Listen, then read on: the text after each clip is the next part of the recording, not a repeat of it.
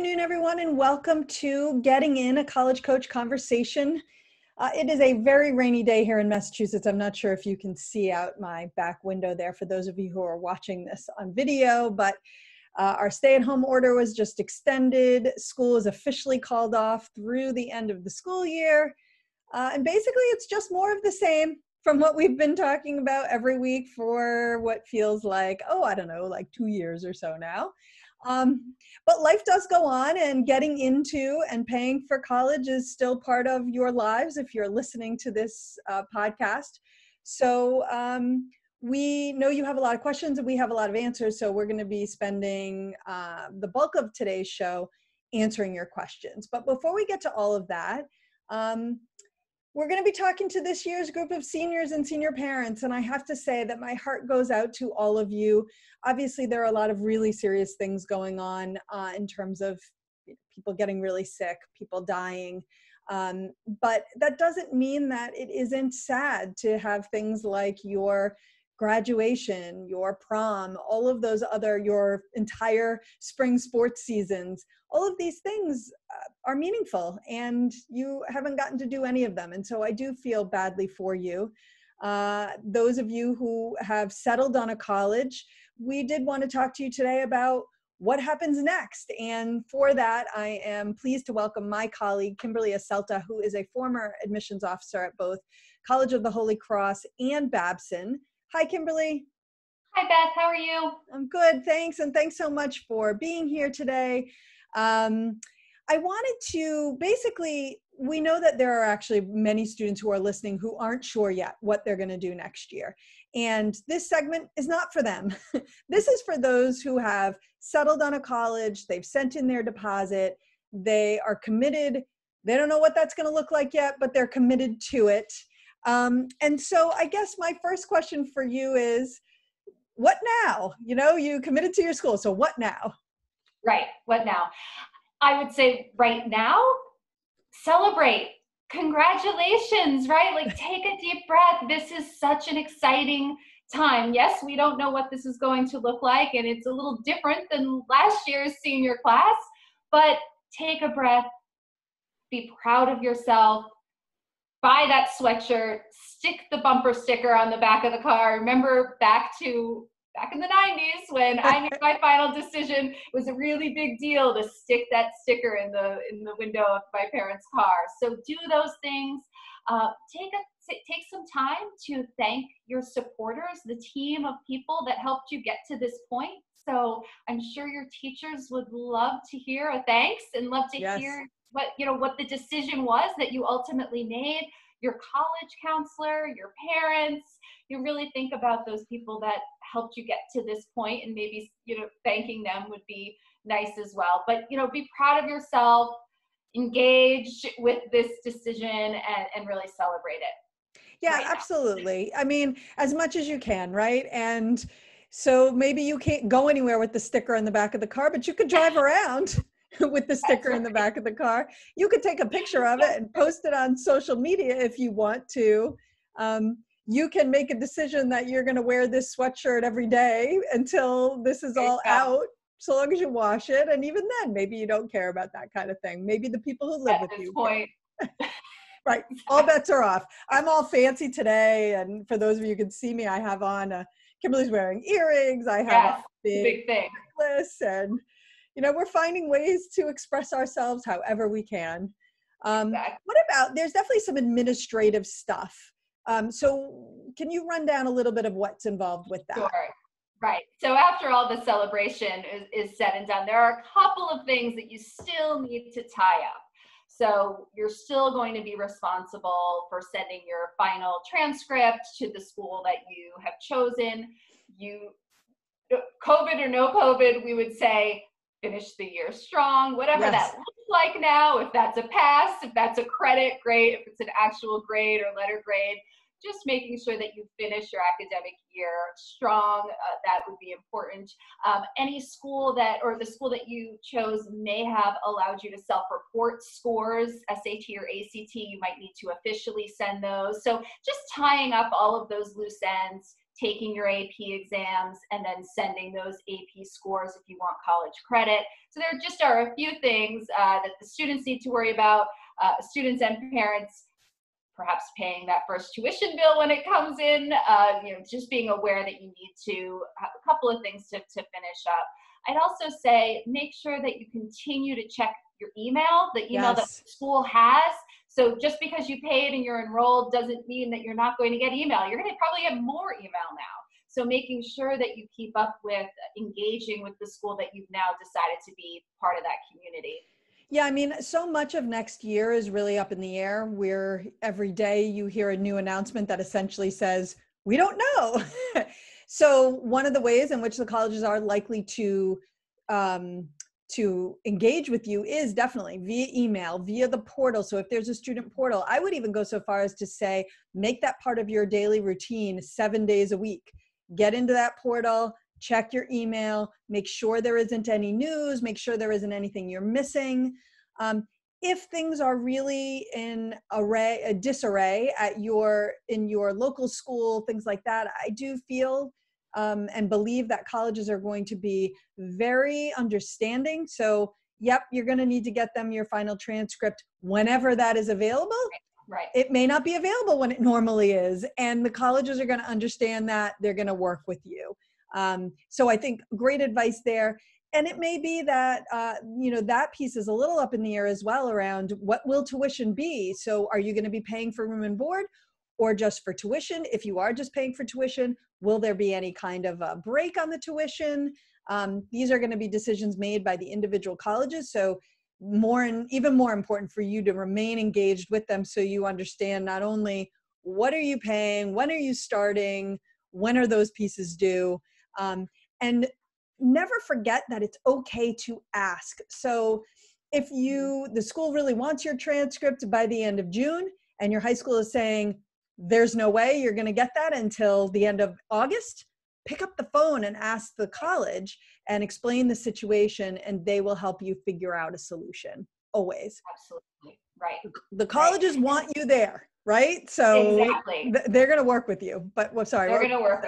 Yeah. Well, I was going to say, and that communication is a really important piece for these very important pieces of the next couple of steps, but also to stay engaged social media join that facebook the incoming class facebook yes. page right join that um, engage with your the fellow students and peers in that incoming class i know that that's usually how students are finding roommates and and already coming to campus with a few people that they've connected with. So making sure that you still continue to do that.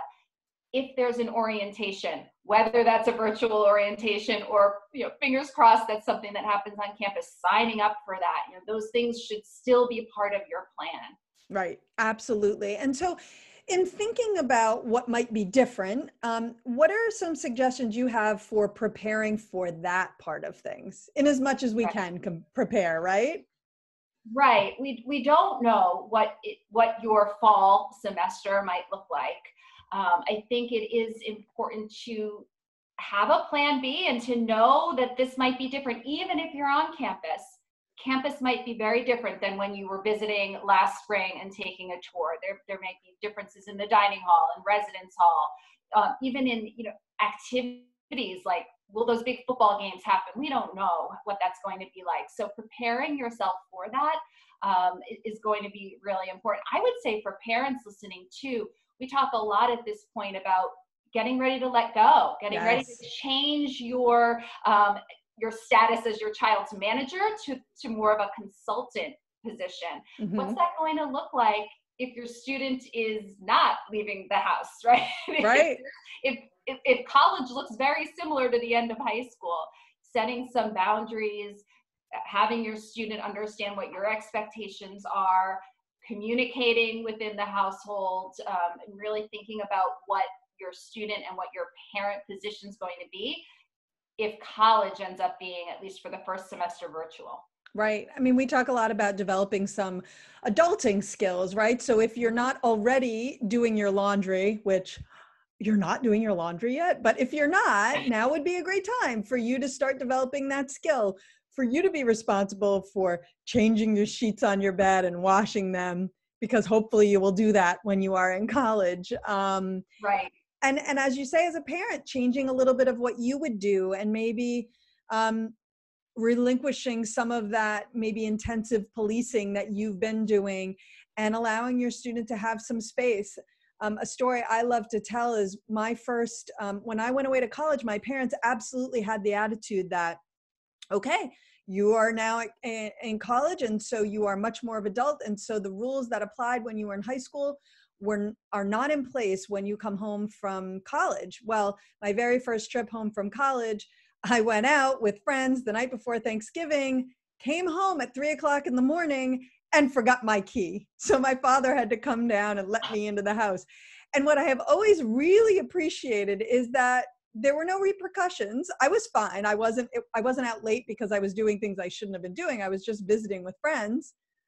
Um, the next day no one even mentioned it. Then i just never forgot to bring my key again. But obviously these are not situations that you may find yourself in because students may not be at school. But what are ways in which you can kind of make that shift from what you expected when your student was a high school student to what you expect now that they're a college student and right. and are there changes that you can make with that in right. mind absolutely right?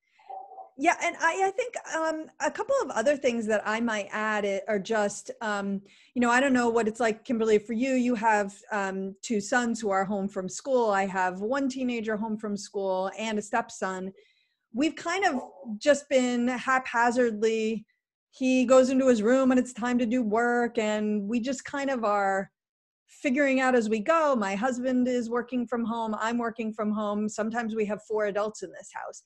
But if your student is going to be starting college from home in the fall, maybe be more intentional about that, right? Creating a space um, where they can do work. Is there a separate room in the house that you could turn into?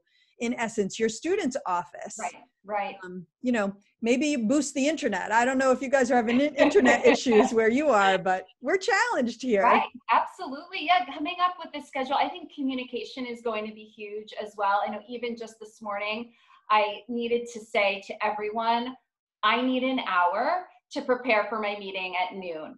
And I was getting frustrated and realized they don't know what I'm doing. Right. They don't know what I'm doing with my computer in front of me. So just that communication and, and setting those expectations, I think will be helpful. I was also thinking, and, and this might be crazy, but a big rite of passage for me when I was going to college was going shopping with my mom to buy that new comforter and all of those things for my dorm room.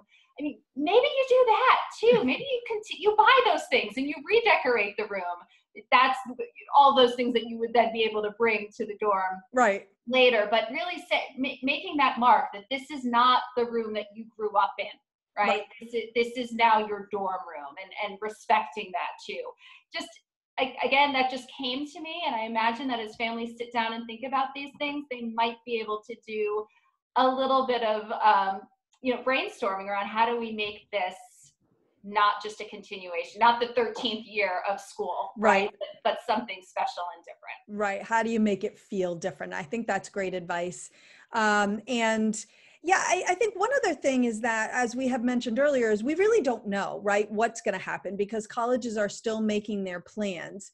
Um, any thoughts about that um, in terms of, you know, students now? Yes, I was thinking, you know, we saw an article that came out um, this week about Stanford saying that they were going to include a student input in the decisions that they make. They were sending out a student survey. Now, they have a whole host of people that are going to be part of this decision, but they are including some of what the students say. Now, yes.